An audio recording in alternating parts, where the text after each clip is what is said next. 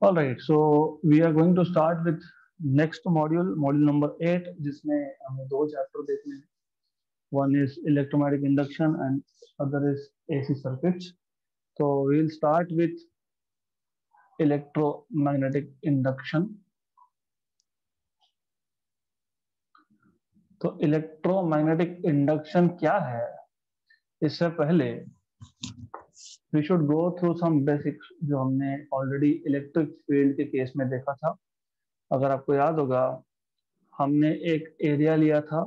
Let us say this area is A okay then the number of field lines passing through this area A normally was called as flux तो इसमें से कितने field lines normal normal मतलब perpendicular to the area pass हो रहे हैं उसको हमने बोला flux but as you can see इस डायग्राम में electric field E is not perpendicular to A perpendicular नहीं है तो हमको परपेंडिकुलर कंपोनेंट देखना पड़ेगा।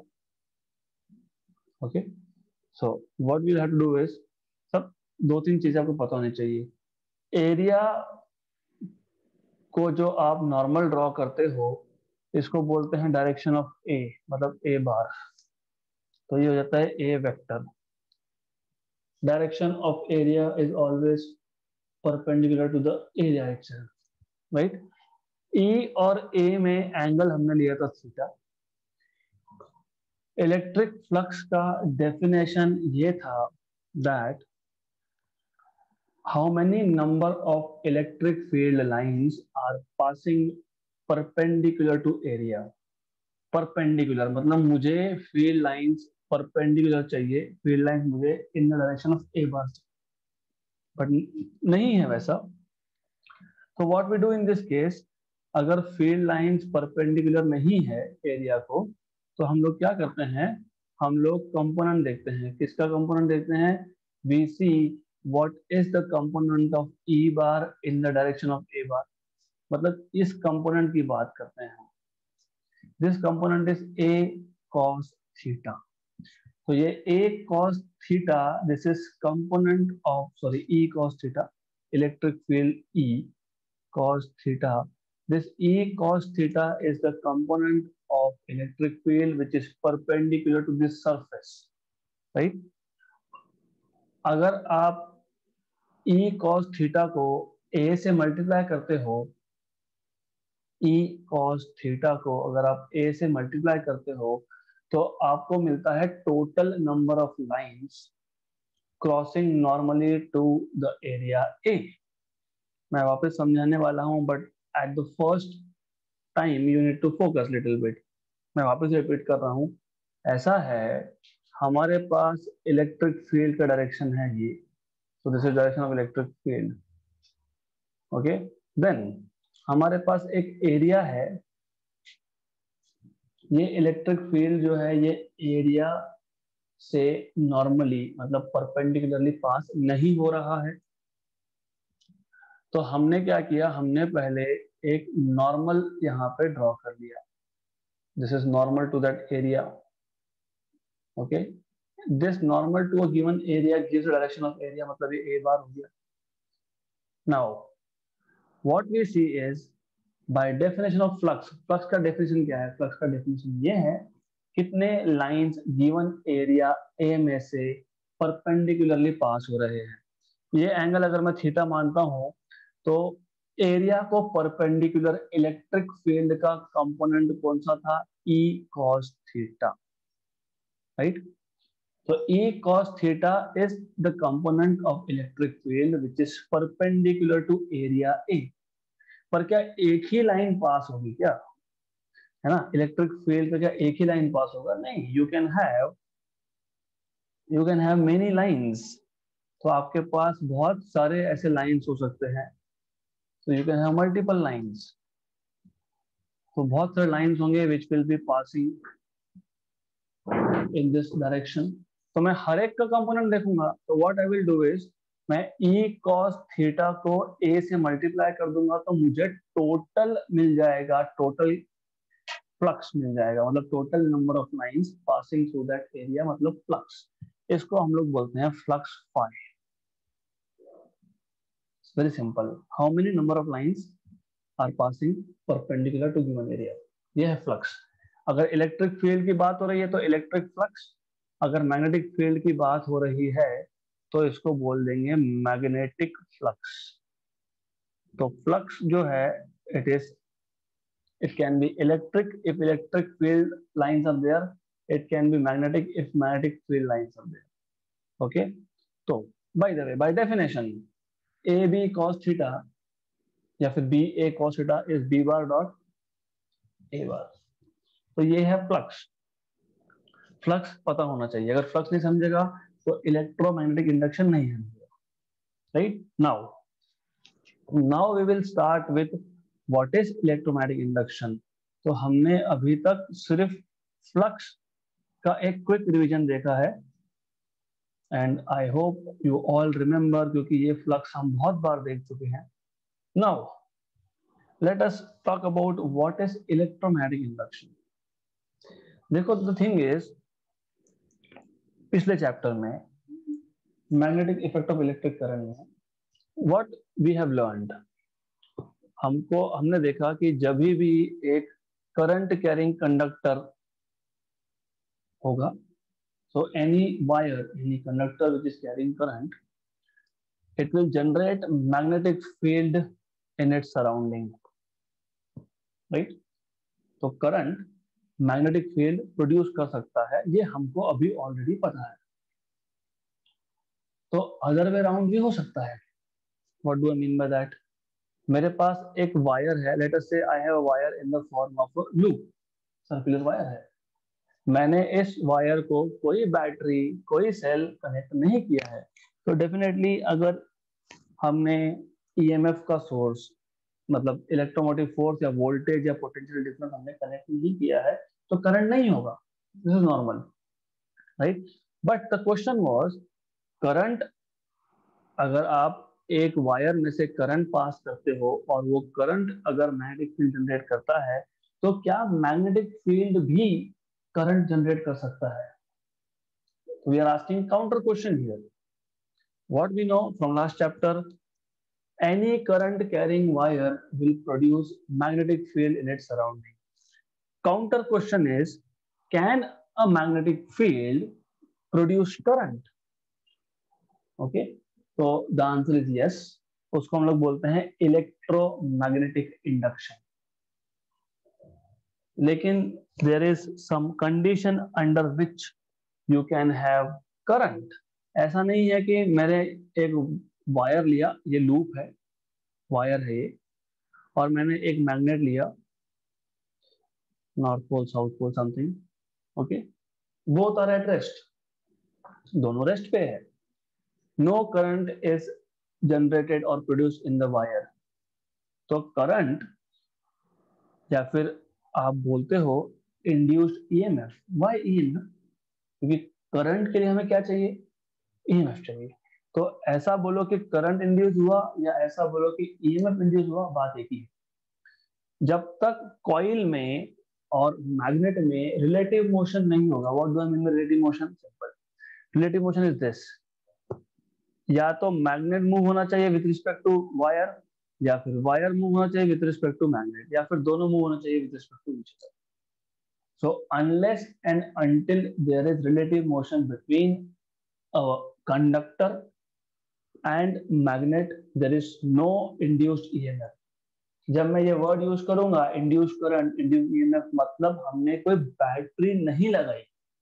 This is very important thing हमने कोई बैटरी कनेक्ट नहीं की, फिर भी करंट मिल रहा है। Okay okay? देन इसको बोलते हैं electromagnetic induction the production of induced current or induced EMF in a conductor due to relative motion between the conductor and the magnet is called as electromagnetic induction. Magnet move करने से क्या हुआ? वो हम आगे देखेंगे। Will see why there is EMF induced right तो well instead of waiting for later मैं अभी बता देता हूँ कि why there is induced EMF तो सबसे पहले you need to understand that any magnet वो चाहे फिर नेचुरली ऑकरिंग मैग्नेट हो या फिर इलेक्ट्रोमैग्नेट हो एनी मैग्नेट जैसे any electric charge produces electric field lines वैसे ही एनी मैग्नेट और मैग्नेट हमेशा डाइपोल में एग्जिस्ट करता है। Magnet always exist in the form of dipole okay electric charges can exist like only positive charge only negative charge but magnets always exist in the form of dipole. North pole और south pole को अलग नहीं कर सकते हो it will be always dipole. तो इसका मतलब ये है, मैंने अगर एक बार मैग्नेट लिया तो I will have field lines here ये magnetic field lines and of course ये अंदर भी जाते हैं. This is the difference okay so magnetic field lines they always form blue मैं थोड़ा सा इसको बड़ा करके दिखाता हूँ because I will need to show more field lines here ये है bar magnet this is bar magnet and this is our coil sorry right so north pole south pole you have field lines over here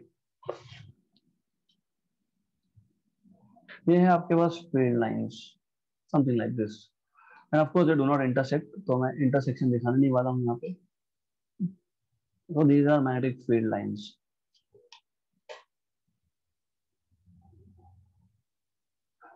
समझ लेना। I am not going to complete this diagram I am just going to keep it what is required जितना ज़रूरत है उतना देखेंगे। Now ये coil ये wire है कंडक्टर है, और ये जो कंडक्टर है, इसको हमने बैटरी नहीं कनेक्ट किया है as you can see now what happens जैसे मैं इस कॉइल को मूव कर रहा हूँ, या फिर if I am moving this magnet या फिर if I am moving both of this तो जैसे जैसे there is relative motion you see the flux linked with the coil changes है ना? तो पहले मान लो कि फ्लक्स लिंक था ही नहीं and of course I don't intersect तो डायग्राम में मत जाना magnetic field lines not intersect तो पहले इस कॉइल के साथ मैग्नेटिक फ्लक्स लिंक्ड था ही नहीं। जैसे मैंने मूव किया now the flux start linking अब इस कॉइल के साथ फ्लक्स लिंक हो रहा है, हो रहा है राइट गुड तो जब जब flux linked with the coil changes ये वर्ड इंपॉर्टेंट है if the flux linked with the coil changes only in that case, you have induced currents. जैसे ही फ्लक्स चेंज होने लगा, हमको इस कॉइल में करंट मिलेगा without connecting any source of EMF ना बैटरी लगाई, ना कुछ लगाया। But under what condition under condition that coil and magnet must move related to each other क्योंकि फ्लक्स चेंज होना चाहिए। मूव होगा तो ही फ्लक्स चेंज होगा। फ्लक्स चेंज होगा तो ई एम एफ़ इंड्यूस होगा। ई एम एफ़ इंड्यूस होगा मतलब करंट इंड्यूस होगा, लेकिन करंट ई एम एफ़ बिना नहीं आता है तो हम लोग बोलते हैं that EMF is induced instead of saying that current is induced, right? इसलिए इसको बोलते हैं electromagnetic induction okay magnetic field ने यहाँ पे करंट इंड्यूस कर दिया। Good now you should know basic laws of electromagnetic induction तो laws of electromagnetic induction E M I there are two basic laws of electromagnetic given by Faraday तो Faraday का first law sorry Faraday's first law it's quite simple thing Faraday's का first law यही है जो मैंने आपको बताया whenever there is change in the magnetic flux linked with the coil, and EMF is induced in the coil. तो Faraday का first law को बताता है कि under what condition EMF will be induced Faraday का सेकंड लॉ को ये बताता है कितनी क्वांटिटी में करंट इंड्यूस होगा? या फिर कितनी क्वांटिटी में ईएमएफ इंड्यूस होगा? है ना? मैं बोल सकता हूँ मैंने कॉइल को मूव किया उसमें करंट मतलब ईएमएफ इंड्यूस हुआ कितना हुआ? दो वोल्ट दस वोल्ट दो हज़ार वोल्ट कितना हुआ? तो फैराडे का फ़र्स्ट लॉ आपको बताता है about that if the flux linked with the coil changes, there is EMF induced. Sorry. So it is basically qualitative statement Faraday's first law आपको क्वालिटी बताता है ऐसा होगा तो ईएमएफ इंड्यूस होगा एंड फैराडे सेकेंड लॉ आपको quantity बताता है तो Faraday second law gives you how much is the EMF induced तो Faraday second law tells you that EMF induced in the coil E is equal to rate of change of flux with the coil एक second में जितना flux change होगा coil के साथ link उतना ज़्यादा EMF induce होगा राइट तो second law tells you the quantity rate of change of flux linked with the coil gives you EMF induced in the coil. Right? अगर ये नहीं समझा तो आगे कुछ नहीं समझने वाला है सिंपल थिंग मैं वापस रिपीट करता हूँ, एकदम वन स्टेटमेंट में रिपीट करेंगे अगर current magnetic field induce produce कर सकता है तो मैग्नेटिक फ़ील्ड भी करंट प्रोड्यूस कर सकता है दैट्स इट तो करंट कब प्रोड्यूस होगा मैग्नेटिक फ़ील्ड की वजह से? जब एक कंडक्टर के साथ flux because of magnetic field वो जब चेंज होगा, तब करंट इंड्यूस होगा। मतलब ईएमएफ इंड्यूस होगा। This is what it is good now तो फैराडे ने तो बता दिया। क्या बताया? Whenever there is change in the flux, magnetic flux linked with the coil and EMF is induced in the coil Faraday के second law ने बताया कितना ईएमएफ इंड्यूस हुआ d phi by d t rate of change of flux हर एक second में जितना flux change हो रहा है, उतना ईएमएफ इंड्यूस हो रहा है। राइट मतलब एक सेकंड में अगर वन या फिर लेटर से two weber per second is the change in the flux मतलब two volt is induced right good then then आया लेंस लेंस लॉ फैराडे के पहले लॉ ने बताया कि क्या होगा? फैराडे के दूसरे लॉ ने बताया कितना होगा? और लेंथ लॉ बताता है डायरेक्शन क्या होगा। ओके डायरेक्शन मतलब क्या? देखो ऐसा है। I will just copy this diagram. so the thing is, now, what will happen according to Lenz law, ये जो इंड्यूस्ड ईएमएफ है, इसको जो प्रोड्यूस कर रहा है, ये उसी को अपोज करता है। ईएमएफ जो इंड्यूस हुआ, उसको किसने प्रोड्यूस किया? मैग्नेट मोशन ऑफ़ मैग्नेट मतलब ये जो मैग्नेट है this magnet was trying to go closer to the coil तो फ्लक्स चेंज हो रहा था good then since the flux was changing current is induced current का डायरेक्शन ऐसा होगा कि दिस फेस अगर ये नॉर्थ पोल है मैग्नेट का तो ये साइड भी नॉर्थ पोल बन जाएगा which means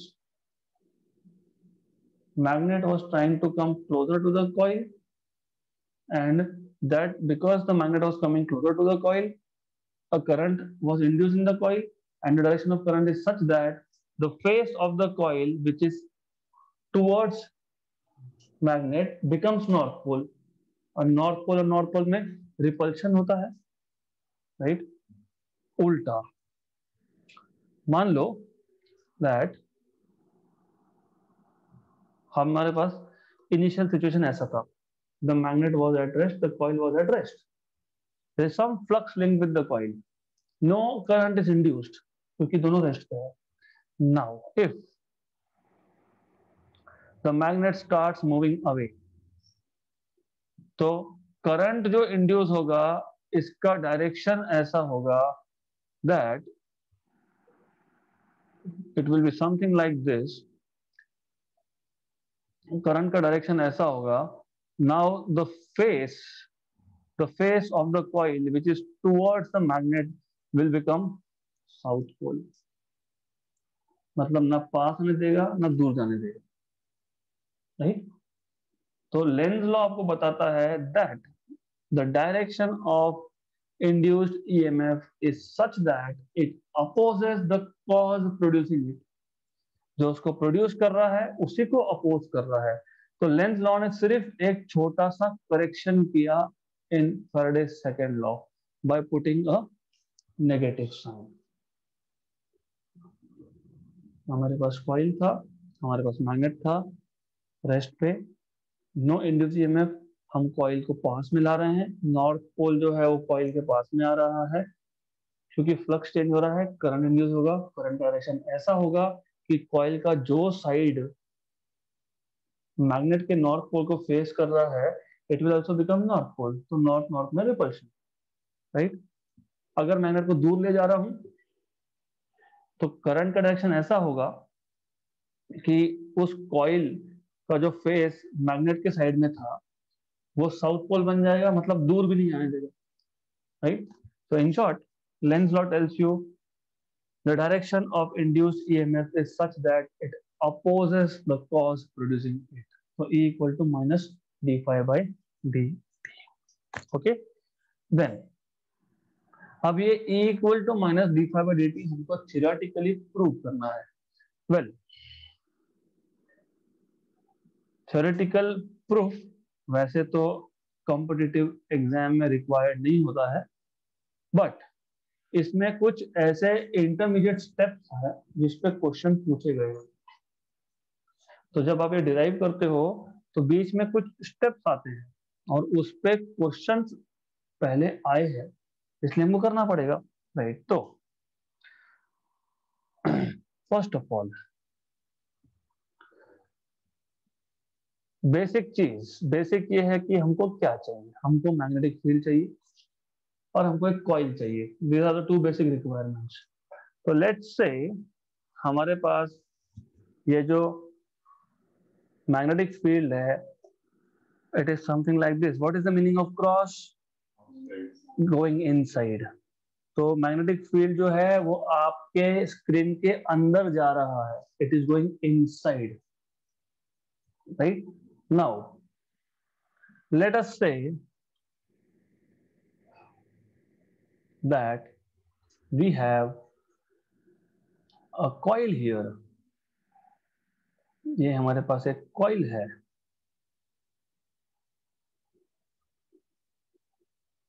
इसमें कोई करंट नहीं है। So this is not a current carrying coil this is just a coil conducting coil इस कंडक्टिंग कॉइल का ये साइड जो है that is completely inside magnetic field as length L और ये जो साइड है, इसका X part is inside the magnetic field so I will first give it some name इसका नामकरण कर लेते हैं P Q R S this side is L this side is let us say x okay now what happens is as soon as I start pulling this coil outward. मैं coil को जैसे बाहर निकालूँगा with some v okay flux change होगा तो EMF e induce होगा। क्योंकि flux change हो रहा है तो ईएमएफ e इंड्यूस होगा मतलब इसमें करंट आएगा। राइट गुड चलो, ठीक है। नाउ सबसे पहले ये देख लेते हैं हम लोग how much is the flux linked with the coil move बाद में करेंगे, लेकिन पहले फ्लक्स कितना है? फ्लक्स कैसे निकालते हो? इसलिए मैंने सबसे पहले आज स्टार्ट किया magnetic flux B into A B bar dot A bar is B A cos theta where cos theta is the angle between magnetic field and area basically normal to the area यहाँ पे area जो है ना? उस area से बराबर perpendicular magnetic field जा रहा है। ओके राइट है ना anyways so here you have flux as b into a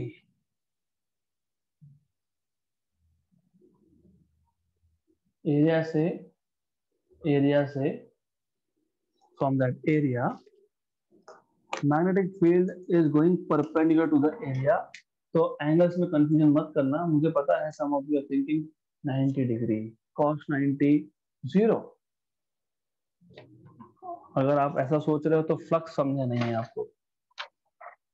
Line should cross normal to the area लेकिन एरिया का डायरेक्शन भी नॉर्मल टू द एरिया ही होता है। एरिया का डायरेक्शन भी नॉर्मल टू द एरिया ही होता है। ओके तो एंगल ज़ीरो आएगा ज़ीरो तो एंगल इज़ ज़ीरो हमारे पास मैग्नेटिक फ़ील्ड है which is going inside the plane of your screen and you have a coil coil को नॉर्मल ड्रॉ करूँगा तो वो भी इनसाइड द स्क्रीन जाएगा। What is flux linked b into a. What is area here? L into x क्यों l into x? क्योंकि इतना ही पार्ट है जो मैग्नेटिक फ़ील्ड के अंदर है। This part is not inside magnetic field तो what is flux flux is b into a what is a a is length into this x which is inside magnetic field so this is flux linked with the coil flux associated with the coil every single thing will matter here तो ध्यान देना now हम क्या करेंगे हम अब इस coil को with velocity V bar outside pull करने की कोशिश करेंगे।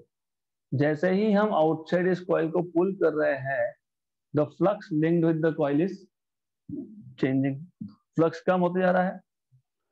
फ्लक्स कितना कम हो रहा है? तो D phi by D T एक सेकेंड में कितना फ्लक्स कम हुआ? डी फाइव बाई टी कितना फ्लक्स चेंज हुआ?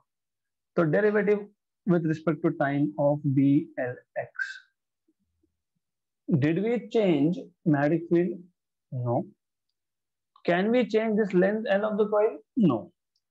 तो जब मैं कॉइल को बाहर पुल कर रहा हूँ तो सिर्फ़ x चेंज हो रहा है this distance x is changing right तो b और l constant which is outside derivative dx by dt तो d phi by dt bl but dx by dt is velocity equation number one इस equation पे NEET में questions पूछे गए so that is why you should know each and every step is important here rate of change of flux is blv okay good then हमको prove करना था E equal to minus D phi D T हमने तो अभी तक सिर्फ़ D phi और D की बात की ई तो आया ही नहीं है। So let us bring E in the scenario now अब ऐसा बोलते हैं कि फाइनली हमको एक स्मॉल डिस्प्लेसमेंट प्रोड्यूस करना है। हाँ well before small displacement we should talk about current जैसे मैं इस कॉइल को बाहर मूव कर रहा था, मैं फ्लक्स चेंज कर रहा था। फ्लक्स चेंज करने का मतलब था करंट इंड्यूस होना। करंट इंड्यूस कैसे होगा? करंट डायरेक्शन रहेगा ऐसे। Like this okay now it becomes a current carrying conductor inside magnetic field and you must know any current carrying conductor inside an external magnetic field experiences force due to magnetic field. मतलब अब क्या हुआ? जो जो side magnetic field के अंदर है, उस पर फोर्स लगना स्टार्ट हुआ क्योंकि अब कॉइल में करंट आ गया। कौन सा करंट है? इंड्यूस्ड करंट है।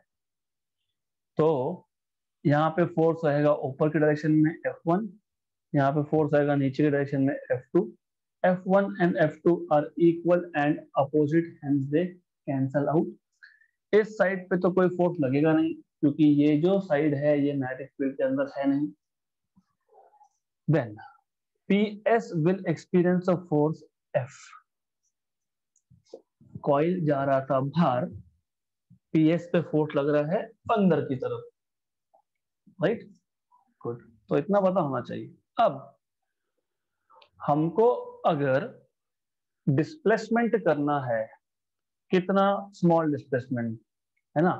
तो I just want to have a very small displacement मुझे कॉइल को डी एक्स डिस्प्लेसमेंट से मैग्नेटिक फ़ील्ड से बाहर निकालना है। तो I want that this coil should be moved with a small displacement D X outside the magnetic field D direction क्या है? आउटसाइड आ रहा है कॉइल फोर्स कहाँ लग रहा था? इनसाइड मतलब वर्क डन करना पड़ेगा, क्योंकि फोर्स था राइट टू लेफ़्ट और कॉइल को मूव कर रहे हैं लेफ़्ट टू राइट तो we are moving the coil outside तो work has to be done and the work done is given by F D X right correct? With a negative sign. Negative sign tells you that force and displacement are oppositely directed okay so force and displacement they are oppositely directed now but what is force?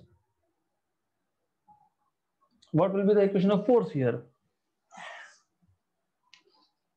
This is a current carrying coin inside a magnetic field. BIL, simple. So force will be B I L D X. Yeah, yeah, DW. Correct? Good. Now, if you remember, what is power, then you will be able to solve this. What is power? Work done per unit time. So dw by dt is equal to v into i मतलब e into I है ना? Power के तीन formula थे I square R है ना? V into I और v square by R हम्म? तो यहाँ पे सिर्फ़ मैंने पावर मतलब work done per unit time induce EMF into induce current का प्रोडक्ट लिखा है। This D W what is D W है ना? डी डब्ल्यू क्या है? Minus B I L D X but this D W is equal to minus b i l dx okay. By dt this is equal to e into i. okay? Clear? Good. नहीं clear होगा तो कर लो। You can ask no issues no problem at all. Now, what i know is this dx by dt इस v, है ना? तो ये आ जाएगा v. मैं शॉर्टकट मार रहा हूँ मैथमेटिकल शॉर्टकट्स मार रहा हूँ यहाँ पे मैं। तो you should be aware of some basic mathematics of course तो ये आ जाएगा आपका यहाँ पे minus B I L V equal to E I I I cancel okay तो आपको मिल जाएगा E is equal to minus B L V equation number two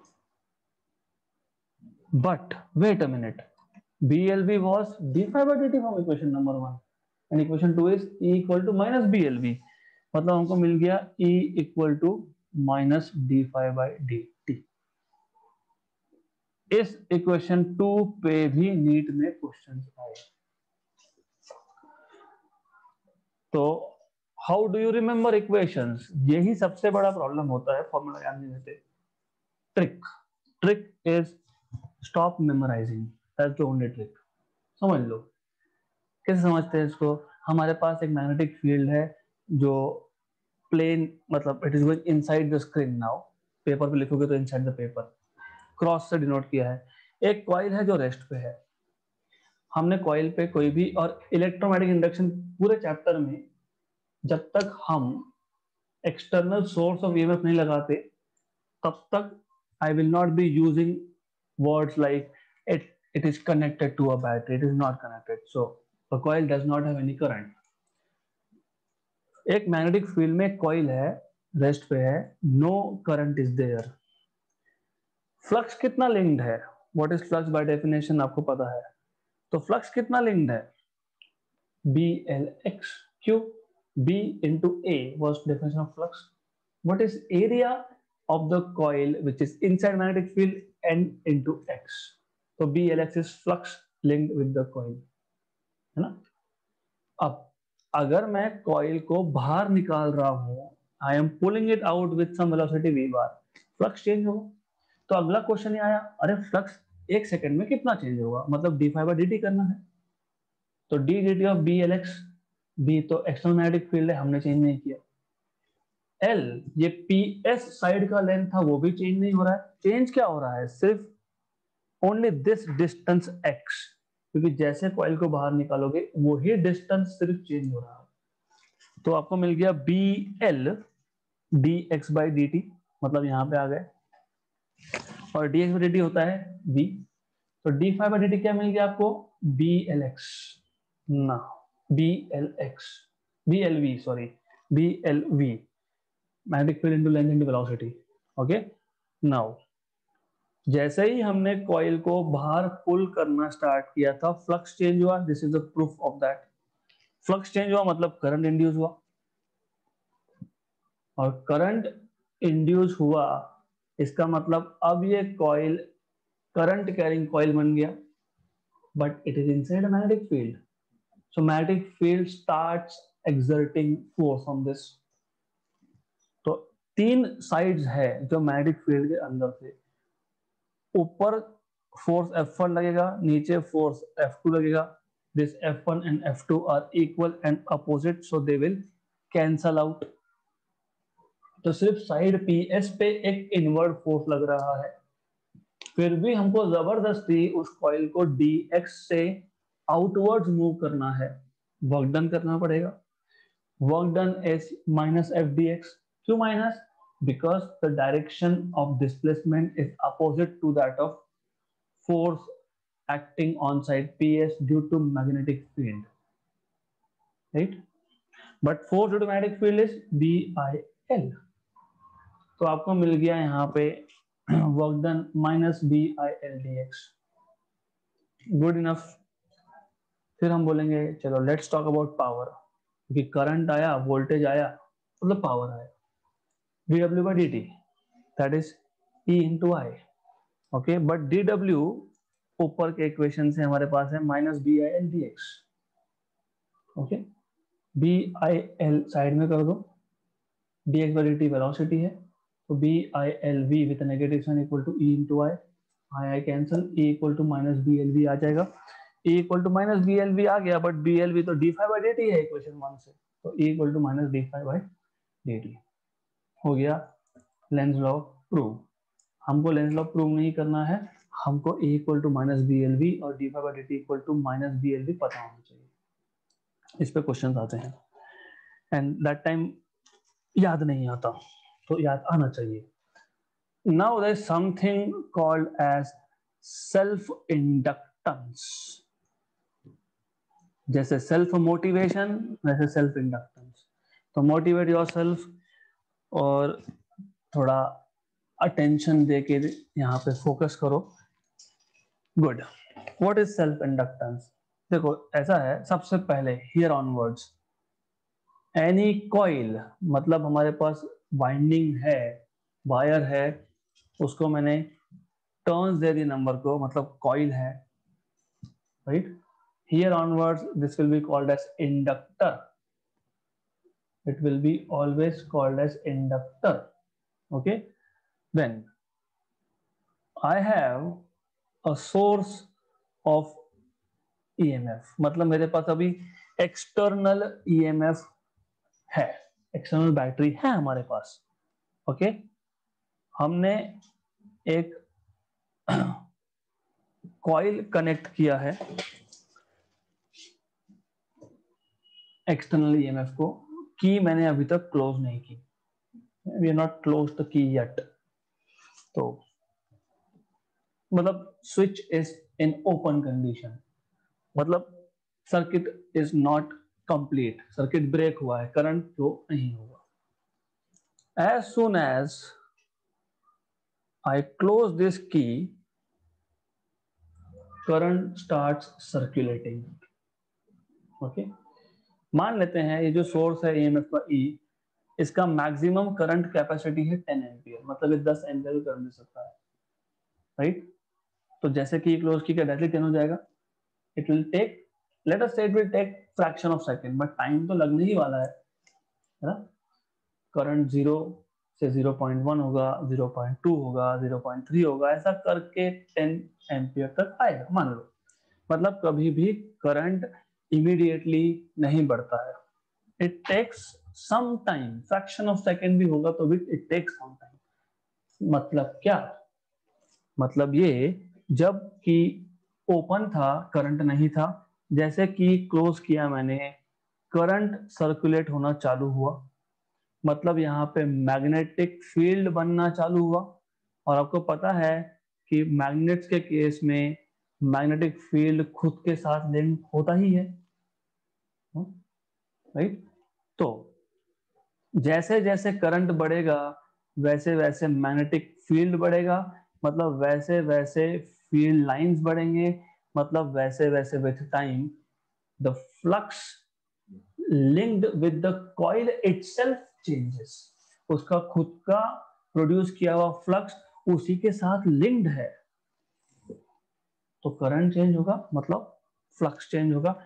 flux change होगा मतलब ई एम एफ़ इंड्यूस होगा, खुद में ही ईएमएफ इंड्यूस होगा। That is important this is called self inductance define कैसे करोगे? Simple when the flux linked with the coil changes okay then EMF is induced in the same coil that is called self induction right so the phenomena of production of M F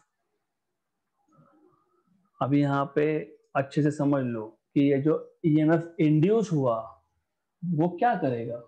वो जिस current ने उसको बनाया था, उसी को oppose करेगा। मतलब इंड्यूस करंट जो होगा I will be using green sim green arrow वो ओरिजिनल करंट को अपोज करता है। राइट कैंसलेशन नहीं होता बाय द वे क्योंकि ईएमएफ e के पास बहुत ज़्यादा एनर्जी है तो कंटिन्यूस एनर्जी सप्लाई हो रहा है यहाँ से। राइट? तो इसलिए इसको बोलते हैं बैक ईएमएफ उल्टी डायरेक्शन में आया, इसलिए back EMF right? So the phenomena of production of an induce EMF in a coil due to change in the current in the same coil खुद ही में करंट चेंज हुआ, खुद ही के साथ फ्लक्स जो लिंक था, जो खुद ने प्रोड्यूस किया था, वो चेंज हुआ, उसमें ईएमएफ इंड्यूस हो गया। The phenomena of production of an induce EMF in the coil due to the change in the current in the same coil good now we want to have a equation क्योंकि हम लोग बार बार बार बार ऐसा theoretically नहीं बोल सकते। We need to have a equation equation कैसे बनाएँगे? सबसे पहले आपको ये पता होना चाहिए कि ये जो मैग्नेटिक फ़ील्ड लाइंस मैंने ड्रॉ की है this magnetic field lines here this red dotted lines जो मैं ड्रॉ कर रहा हूँ, जितना ज़्यादा करंट होगा, उतना ज़्यादा मैग्नेटिक फ़ील्ड होगा मतलब उतना ज़्यादा फ्लक्स होगा। तो flux is always proportional to current okay तो flux is equal to some constant L into current and this constant L is called as self inductance और it is called as coefficient of self induction तो this constant L is called as self inductance और coefficient of self induction but according to Lenz law E is equal to minus d phi by dt. मतलब E is equal to minus d dt of L into I. L तो constant था constant तो derivative के बाहर जाएगा तो L D I by D T अगर मैं इसको मैग्नीट्यूड वाइज लिखता हूँ if I just don't write about direction तो मुझे मिलेगा L mod of D I by D T मतलब मुझे मिल जाएगा L equal to mod of EMF upon mod of di by dt right तो ये आ गया आपका सेल्फ इंडक्टेंस का फॉर्मूला तो डिफाइन कैसे करेंगे? Coefficient of self induction or self inductance is defined as the ratio of emf induced in the coil to that of नीचे क्या है di by dt मतलब rate of change of current है ना so to that of rate of change of current in the same coil coefficient of self-induction is defined as the ratio of induced EMF in the coil to that of rate of change of current in the same coil क्योंकि same coil में current change हुआ है everything is important here theory में भी questions आते हैं यहाँ पे of course, ultimately, अगला task है to find out SI units. Numerator में EMF EMF मतलब volt. डिनोमीटर में current rate of change of current मतलब current upon time current is an ampere upon second ऊपर जाएगा. तो ये जाएगा वोल्ट सेकेंड पर एम्पियर ओके है ना? गुड तो by the way V equal to I R तो R equal to V by I है ना? मतलब volt upon ampere volt upon ampere होता है ओहम। तो ये आ गया आपका ओहम सेकेंड और इसी को आप बोलते हो henry. Ohm second is henry. Right good इससे पहले मैं आगे जाऊँ। I will quickly give you the concept again एक कॉइल है, एक सोर्स ऑफ़ ईएमएफ है। हमने दोनों को कनेक्ट किया। की बंद कर दी की क्लोज कर दी। Current started building up current zero से बढ़ रहा है। करंट बढ़ रहा है मतलब करंट चेंज हो रहा है। और मैग्नेटिक फ़ील्ड करंट की वैल्यू पर डिपेंड करता है। तो करंट चेंज होगा तो मैग्नेटिक फ़ील्ड चेंज होगी। मैग्नेटिक फ़ील्ड चेंज होगी मतलब वो मैग्नेटिक फ़ील्ड कॉइल के साथ, खुद के साथ लिंक्ड है तो कॉइल ने जो फ्लक्स प्रोड्यूस किया था, खुद ने प्रोड्यूस किया था, वो चेंज हो रहा है मतलब वो फ्लक्स खुद के साथ भी लिंक्ड है। तो this is a problem now क्यों? क्योंकि हमने अभी देखा, जब भी फ्लक्स चेंज हुआ, अभी वो कॉइल ने खुद ने प्रोड्यूस किया या बाहर से आया we don't care but when the flux linked with the coil changes emf is induced and this emf is in the opposite direction to that of the original emf इसलिए इसको बोलते हैं बैक emf evac आगे काम में आएगा right good तो what we know is किसी भी कॉइल में मैग्नेटिक फ़ील्ड जो होगा, किस पर डिपेंड करेगा? करंट पे। जितना ज़्यादा करंट मैं नहीं बोल रहा, आपने डिराइव किया था। B equal to mu zero N I आपने ही बोला था वो। सोलेनॉइड के केस में क्या बोला था? B equal to mu zero N I जितना ज़्यादा करंट उतना ज़्यादा मैग्नेटिक फ़ील्ड जितना ज़्यादा मैग्नेटिक फ़ील्ड उतना ज़्यादा flux link with the same coil तो flux is proportional to magnetic field which is proportional to current तो flux is proportional to current मैं अगर प्रोपोर्शनलिटी कांस्टेंट हटाता हूँ तो मैं इसको लिखता हूँ L, which is self inductance right? Then what we know from Lenz law, induced EMF ये E जो है, ये स्मॉल E लिखा है, ये E जो है, ये एक्सटर्नल कैपिटल E है। अगर कंफ्यूजन होता है तो इसको E बैक भी बोल सकते हो। इंड्यूस EMF है ये। तो by Lenz law induce EMF is minus D phi by D T phi is L into I L is constant derivative के बाद minus L D I by D T मैं अगर सिर्फ़ मैग्नीट्यूड वाइज लिखता हूँ तो मुझे मिलेगा mod of e equal to L mod of di by dt तो L equal to mod E upon mod di by dt आ गया definition of self inductance what is definition of self inductance ratio of EMF induced in the coil to that of, rate of change of current in the same coil यहाँ पे ये same word बहुत important है तो you should know this, right? Now, units हमको पता है dimensions आप निकाल सकते हो। I hope आप फाइंड कर सकते हो डायमेंशन क्योंकि it is simple right E इसके डायमेंशन पता होना चाहिए। नहीं पता तो रेजिस्टेंस के पता होना चाहिए। रेजिस्टेंस और सेकेंड तो पता ही है टी पावर वन तो dimensions I hope you can work out okay you will work out नहीं तो मैं लिख देता हूँ बट वर्कआउट आपको करना पड़ेगा. L two M one T minus two I minus two ये आएगा dimension and you can work out of course dimension आप कर लेना नाउ अब, we have a question in mind here. Well, by the way, एक चीज़ आपको पता होनी चाहिए, अगर इंडक्टर में एन टर्न्स होंगे और फ्लक्स हर एक टर्न के साथ फाइव भी होगा तो ये आ गया total flux if the flux linked with each turn is phi suffix b, and n is total number of turns. Number से ज़्यादा समझ में आता है। मेरे पास जो फ्लक्स है, वो टेन वेबर है। इसमें टर्न कितने हैं? एक, दो, तीन, चार, पाँच। तो कितना फ्लक्स हो गया टोटल? Phi into ten. मैंने वही वहाँ पे एन इंटू फाइव भी लिखा है। और ये फ्लक्स किस पर डिपेंड करता है? आई पे। इसका मतलब total flux is proportional to current. Right? वही यहाँ पे लिखा था मैंने। यहीं पे तो लिखा है। This is what I wrote सिर्फ़ यहाँ पे मैंने टोटल फ्लक्स डायरेक्टली बोल दिया था। And I am now writing this as N number of turns and the flux flux linked with each turn तो कभी कभी इस फॉर्म में आपको इक्वेशन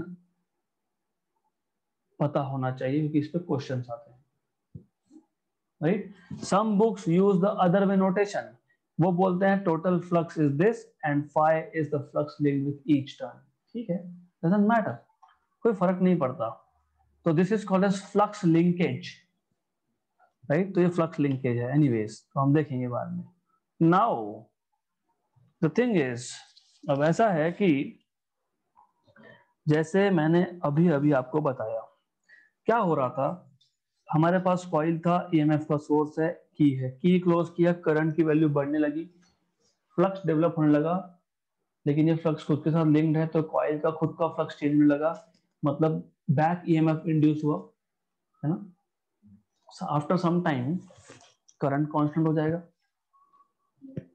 मतलब फ्लक्स लिंकेज कांस्टेंट हो जाएगा मतलब बैक ईएमएफ इंड्यूस होना बंद हो जाएगा। लेकिन ये जो फ्लक्स लिंकेज बना आफ्टर सम टाइम जो मैग्नेटिक फ़ील्ड जनरेट हुआ उसको डेवलप करने में वर्क डन तो हुआ ही था। क्यों वर्कडन हुआ? बैक ईएमएफ है ना? तो अब हमको देखना है what is the energy stored here in the magnetic field in terms of self inductance right?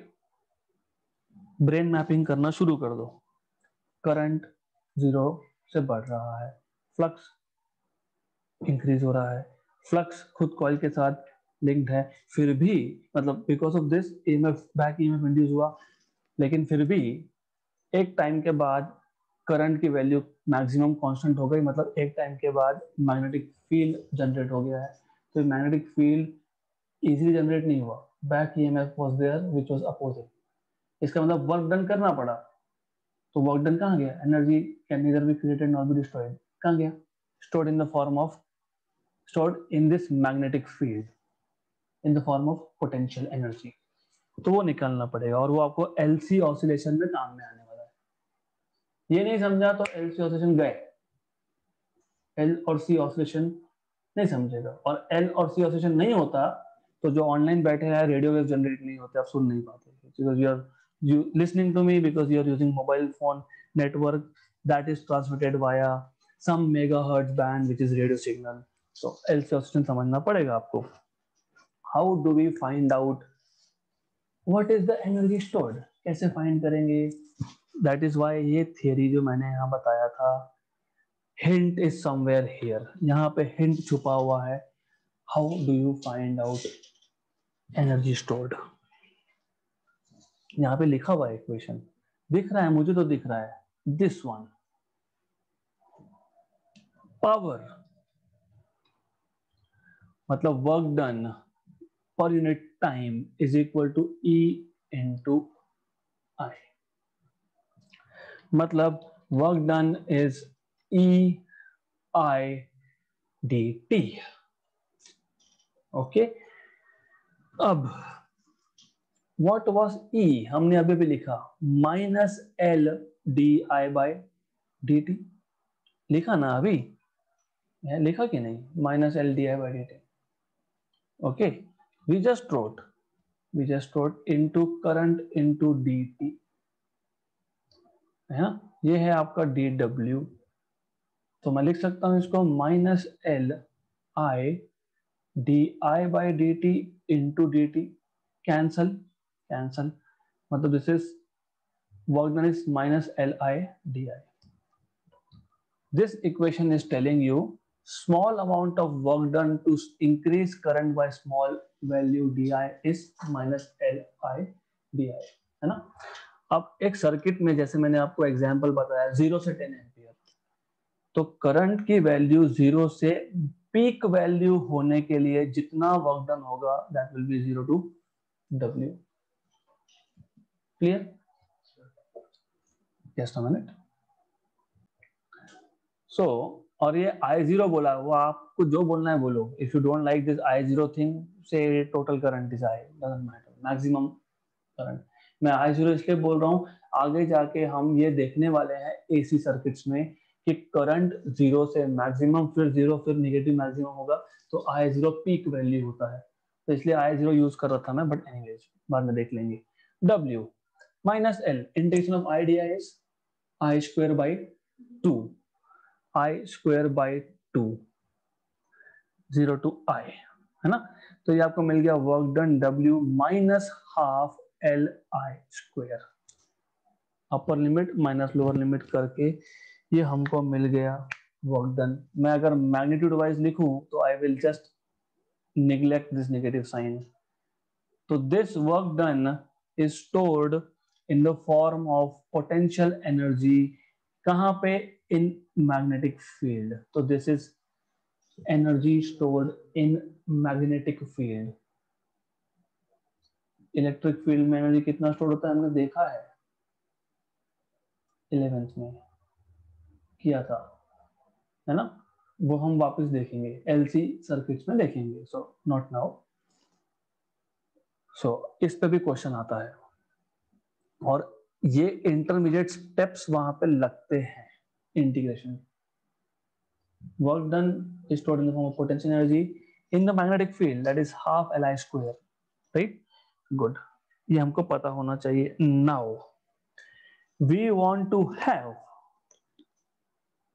equation of inductance per unit length of a solenoid तो inductance of a solenoid फिर आप बोलोगे कि ये जो कॉइल था और सोलेनॉइड में क्या डिफरेंस है? सोलेनॉइड में there are variety of cores air core solenoid is coil फिर आप कोई बेस मटेरियल के ऊपर भी बाइंडिंग कर सकते हो।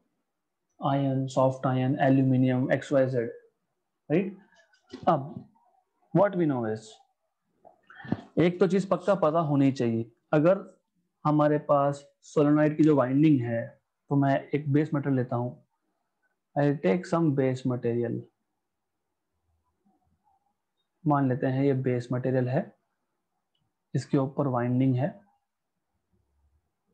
समथिंग लाइक दिस ओके जब भी इसमें से करंट पास होगा सेंटर पे एक्सिस पे मैग्नेटिक फ़ील्ड जनरेट होगा which is given by mu zero N I ये पता होना चाहिए। देन मैंने अभी अभी एक चीज़ बताई थी। This flux linkage what is flux linkage L I equal to N phi B L I equal to N number of turn phi B is the flux with each turn तो मुझे यहाँ पे मिल जाएगा L equal to N phi B by I good good then तो क्या मिला L N phi B by I what is phi B flux what is flux B into A B into A होता है ना flux start इसलिए chapter वहाँ से किया था मैंने. N into well by the way मैं इस एन का भी इलाज करता हूँ। This N is total number of turns and small n is number of turns per unit length तो ये समझ लेना कि ये कैपिटल एन है। This five B is B into A upon I okay now L is equal to N b is mu 0 n i into a a is pi r square क्योंकि coil circular है इसलिए r is the radius of this coil मतलब this distance is r right. तो ये आ जाएगा आपका upon I I I cancel हो गया N is total number of turns मैं मान लेता हूँ कि जो मेरे पास कॉइल था, उसका लेंथ है स्मॉल एल और number of turns per unit length है स्मॉल एन तो कैपिटल एन क्या मिलेगा? Small N into small N number of turns per unit length एक मीटर में कितने टर्न्स मल्टीप्लाइड बाय कितना metre that is total number of turns good clear small N और capital N में गड़बड़ मत करना। मेरे पास 100 मीटर लॉन्ग सोलेनॉइड है। 100 मीटर लॉन्ग बोला मैंने। उसमें टोटल 2000 टर्न है। ठीक है? टोटल तो एक मीटर में कितने? 2000 बाय 100 मतलब 20 तो वैसा ही है ये।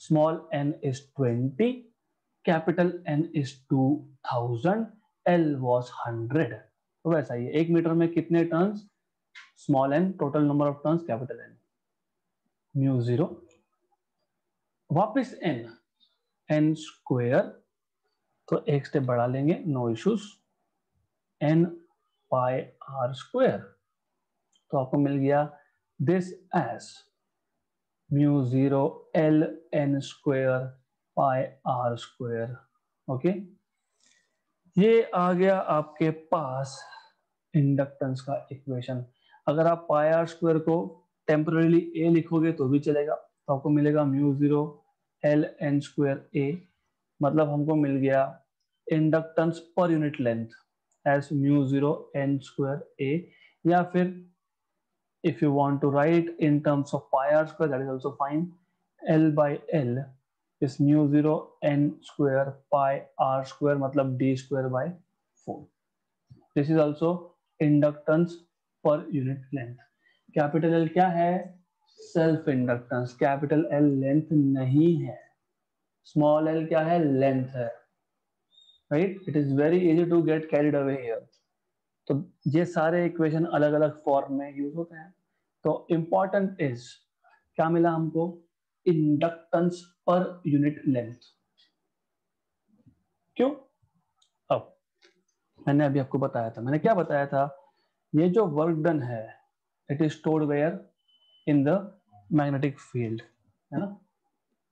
In the form of potential energy मुझे अभी निकालना है energy density of magnetic field मतलब मतलब मतलब यूनिट वॉल्यूम में कितना energy what is density per unit volume मैं अगर बोलता हूँ मास डेंसिटी तो मास पर यूनिट वॉल्यूम मैं बोलता हूँ एनर्जी डेंसिटी तो एनर्जी पर यूनिट वॉल्यूम मैं बोलता हूँ नंबर डेंसिटी तो number per unit volume population density is population per unit area volume नहीं, क्योंकि हम सरफेस के ऊपर रहते हैं ना। Do we live in a cube no we live on the surface of earth right you can talk about per unit volume in big apartments क्योंकि वहाँ पे एक ही वॉल्यूम में बहुत सारे लोग रहते हैं। ओके गुड तो ये जो फ्लक्स जनरेट हुआ था मैग्नेटिक फ्लक्स जनरेट हुआ था, पूरा का पूरा एनर्जी इस मैग्नेटिक फ्लक्स के अंदर है। मुझे देखना है कि यूनिट वॉल्यूम में कितना है तो that is called as energy density of medium या फिर energy density of magnetic field basically energy density of a magnetic field how much magnetic field is present per unit volume? हाँ तो, तो क्या है? दिस इज़ सिंपल यहाँ पे भी notations capital U always stands for total energy small U always stand for per unit volume मतलब capital U को वी से डिनोट डिवाइड करूँगा, तब जाके एनर्जी डेंसिटी मिलेगा। और बी मतलब मैग्नेटिक फ़ील्ड की बात कर रहे हैं। ओके? व्हाट इज़ यू अभी आपने बताया half L I square volume किसका वॉल्यूम सोलेनोइड का। Cross sectional area into length तो एरिया इनटू लेंथ राइट? तो ये एक इक्वेशन है। तो you have one, this is one equation for energy density.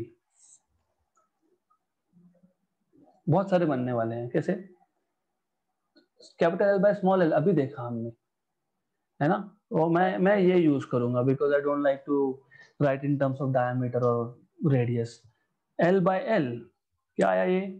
Mu zero N square A तो mu zero N square A I square by A A गया। फिर क्या आया? Mu zero N square I square मैं काम करता हूँ। मैं इसको म्यू ज़ीरो से मल्टीप्लाई डिवाइड कर लेता हूँ। है ना? Right are you missing something yes what we are missing to कहाँ पे? डिनोमिनेटर में, ये टू याद रखना, ये ये टू भी यहाँ पे आएगा। नहीं तो एक स्टेप मैं बढ़ा दूँगा। I don't want to be in rush तो ठीक है। तो ऐसा था। अब हमने क्या किया? हमने म्यू ज़ीरो से मल्टीप्लाई और डिवाइड कर लिया। क्यों किया? क्योंकि ये म्यू ज़ीरो एन आई का स्क्वायर बन गया। लेकिन म्यू ज़ीरो एन आई तो मैग्नेटिक फ़ील्ड है ड्यू टू सोलोनाइट तो B square upon mu zero. तो ये आ गया आपका main formula for energy density of magnetic field. तो मैग्नेटिक फ़ील्ड भी है यहाँ पे? बी। राइट? सो इतना सेल्फ इंडक्टेंस के बारे में पता होना मिनिमम रिक्वायरमेंट है। हम म्यूचुअल पे अभी आए नहीं है। हम सेल्फ इंडक्टेंस की ही बात कर रहे हैं। So far what we have done self inductance concept clear है। Those are online, chat is open to you. If you want, you can ask questions inductance of solenoid हमने सोलेनॉइड लिया। Centre में मैग्नेटिक फ़ील्ड पता है mu zero N आई है। L i equal to n five b है ये भी पता है। तो l equal to n five b by i okay good then what we have done is phi b flux is b into a. so n b a by i. But b was mu zero n i substitute किया। Cancel out किया। हमको मिल गया inductance per unit length as mu zero n square a inductance per unit length पे भी questions आते हैं। Okay? तो मिल गया हमको वो। अब हमको अगला क्वेश्चन ये था कि ठीक है मैग्नेटिक फ़ील्ड में एनर्जी स्टोर हो गया। क्योंकि हमको मैग्नेटिक फ़ील्ड बिल्ड करने के लिए वर्क डन करना पड़ा था तो वो वर्क डन स्टोर हो गया in the form of potential energy unit volume में कितना? तो एनर्जी उठाओ वॉल्यूम से डिवाइड करो। You have this by simplifying you get b square by two mu zero as as energy density ये energy नहीं है, ये एनर्जी डेंसिटी है। इसका फ़ायदा क्या? फ़ायदा बहुत सारा है। एग्ज़ाम्पल हमारे पास ये पूरे रीजन में मैग्नेटिक फ़ील्ड दिया हुआ है।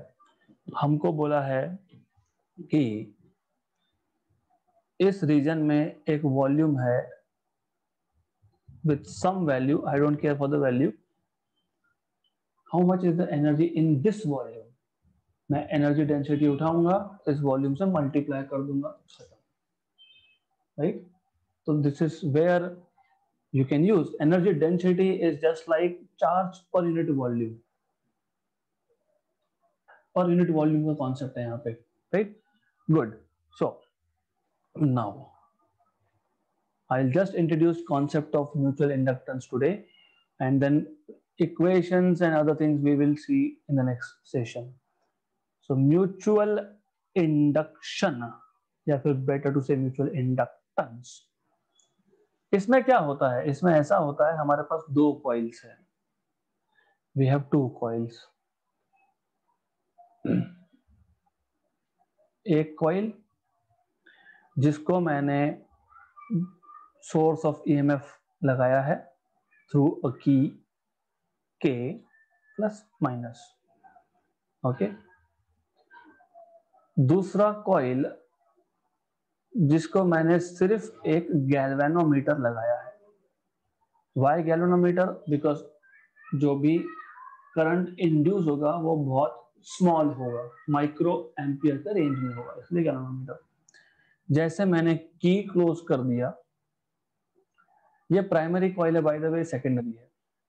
ना? कॉइल वन कॉइल टू जैसे मैंने की क्लोज किया तो current started building up in coil one that current in coil one gave rise to magnetic field and this magnetic field of coil 1 is linked with coil 2 because coil 2 was very near, in the vicinity of coil 1 तो जैसे जैसे पहली coil में current change होगा magnetic field change होगा, ये magnetic flux जो है, वो सेकेंड कॉइल के साथ लिंक्ड है तो सेकेंड कॉइल में फ्लक्स चेंज होने लगा मतलब करंट सेकेंड कॉइल में इंड्यूस हो गया।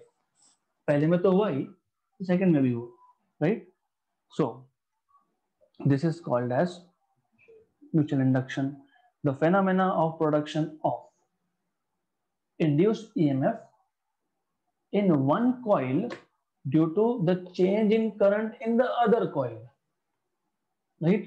Other ये वर्ड इंपॉर्टेंट है. प्राइमरी सेकेंडरी ये वर्ड इंपॉर्टेंट है.